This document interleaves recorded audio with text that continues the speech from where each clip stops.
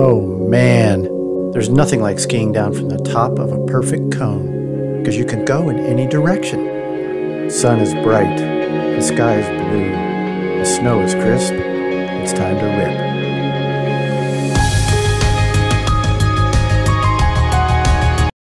But wait a minute.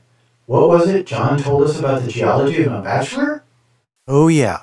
Mount Bachelor is the largest and most northern volcano in the Mount Bachelor volcanic chain. It's a stratovolcano on top of a shield volcano that erupted from 15,000 years ago until 8,000 years ago, which means the first humans in Central Oregon actually saw Bachelor erupting. Later, a glacier formed on the north side during a brief ice age. The glacier carved out a bowl and created moraines that can be seen from Bend. 6,800 years ago, Mount Mazama erupted, covering Bachelor in a deep ashfall. And those fumaroles that cause headaches for skiers are just caused by air movement through a porous structure, since there is no geothermal activity at present. Thank goodness. Wake up, dumbass, before you hit a hoodoo.